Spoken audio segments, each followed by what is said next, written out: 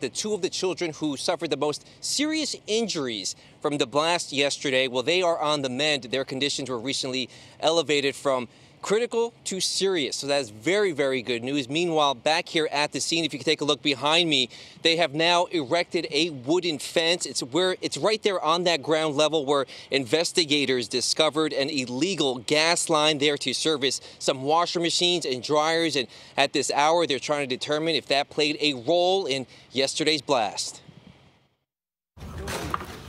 Sofa cushions and baby toys, remnants now piled up outside 1520 Paulding Avenue in the Bronx, where a gas explosion 24 hours earlier blew out doors and windows in the three story apartment.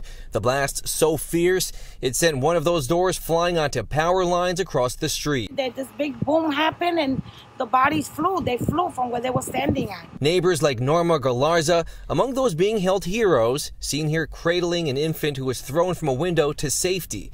That baby, along with another child, said to have suffered the most severe injuries from the blast. Just wanted to hold until I knew that that baby was okay.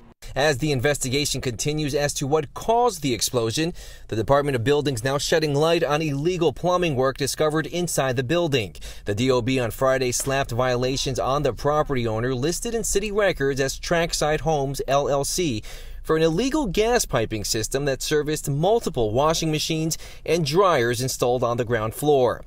A man who is said to be affiliated with property management was at the scene Friday, claiming there have been no maintenance issues with the building reported in the past. What would you say to the family? I've already spoken to them.